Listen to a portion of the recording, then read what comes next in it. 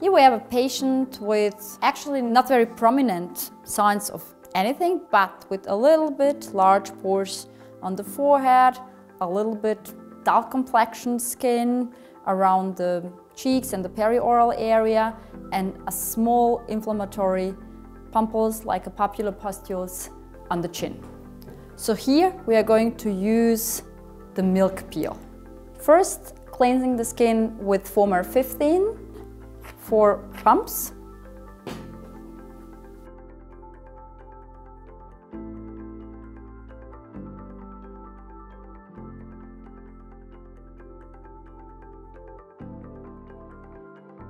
Leave it for one to two minutes.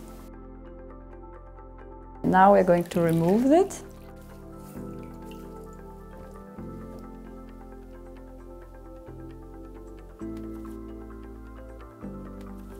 And then dry the skin.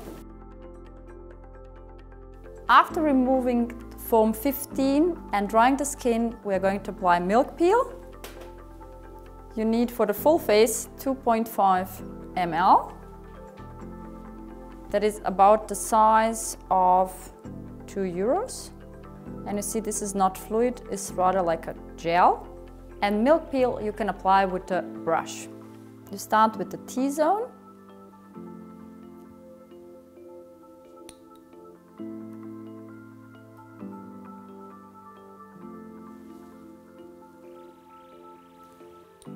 The forehead, nose, and you can go very close to the eyes, but you have to be very careful with your brush. You see there is no pressure. And last but not least, the upper lip.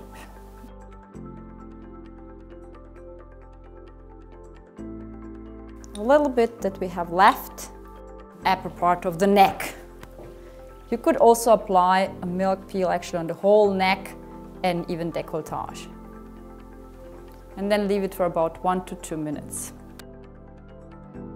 we see a reaction in kind of erythema. It's a mild to moderate erythema on the forehead, the chin, and also very evenly and nicely distributed on the cheeks.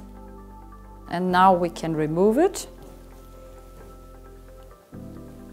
because it starts to burn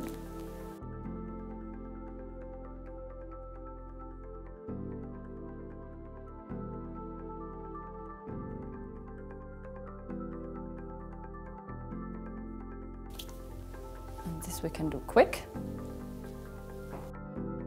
When the skin is dry after removing the milk peel, you apply Hyal Ceutic on the whole face.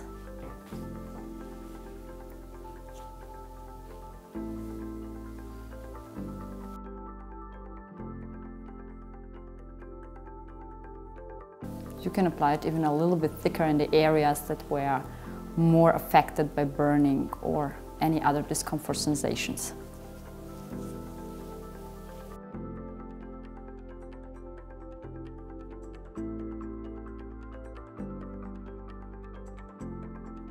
And after Hyal Ceutic is absorbed, the patient should apply sun protection before going out. Depending on the sensitivity of the skin of patients in developing erythema, removing it after 1.5 minutes in this case, but in some cases you can leave it up to 5 minutes. In order to protect patient eyes, you can put some cotton pads and some Vaseline or Hyal Ceutic at the oral commissures and the proximal nasolabial triangle.